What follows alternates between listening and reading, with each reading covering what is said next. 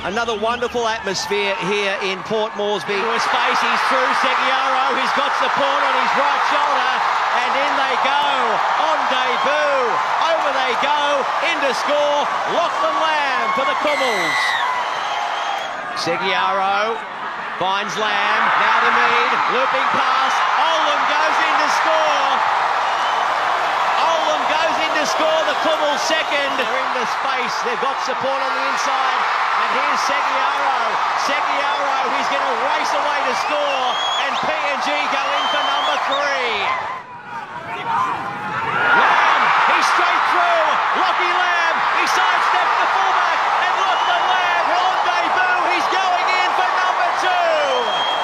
Yes, indeed. Boas goes himself, gives the ball away, and Rod Griffin goes in to score. Easy as you like. Tete.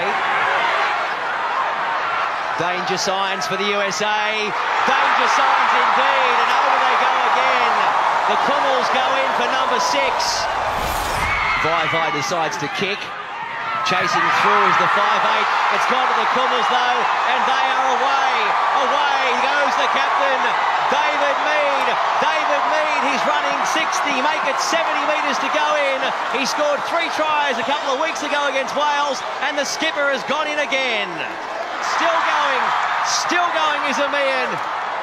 And eventually, no, he gets the ball away to Boas, and Boas, Boas will go in to score.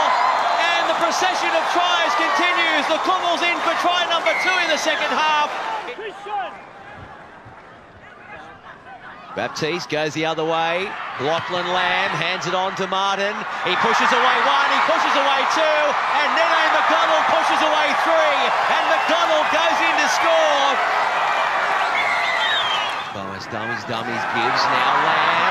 Long looping pass, Macdonald with the ball. They're going in again. Justin Olam, can he get there? You bet he can. Olam in for his second. There go Maitland. Ball alive. It's in the Kumuls' hand, and I think it's Olam. Olam's going away for number three. He's got support.